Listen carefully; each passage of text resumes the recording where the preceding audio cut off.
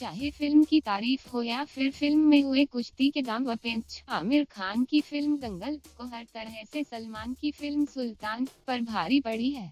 आमिर खान की कुश्ती पर आधारित फ़िल्म दंगल ने अपनी रिलीज़ के महज चौदह दिनों में वर्ल्ड वाइड बॉक्स ऑफ़िस पर छह सौ करोड़ रुपए की कमाई कर सुल्तान का रिकॉर्ड तोड़ दिया।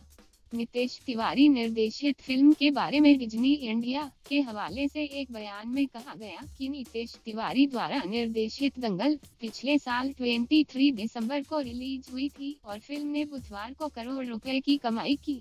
हालाँकि बॉलीवुड के सुल्तान यानी सलमान खान ने आमिर की इस पछाड़ को काफ़ी सकारात्मक रूप से लेते हुए खुद दंगल की तारीफ़ की है। सलमान खान ने ट्विटर पर लिखा था, मेरे परिवार ने यह फ़िल्म देखी और उनका कहना है कि यह सुल्तान से बेहतर फ़िल्म है।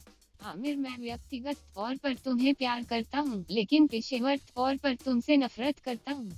सलमान की सुल्तान भी एक हरियाणा के पहलवान की ही कहानी थी और यही कारण था कि इन दोनों फ़िल्मों में काफ़ी तुलना की जा रही थी। सैफ अली खान ने भी इसे एक अद्भुत फ़िल्म बताया है।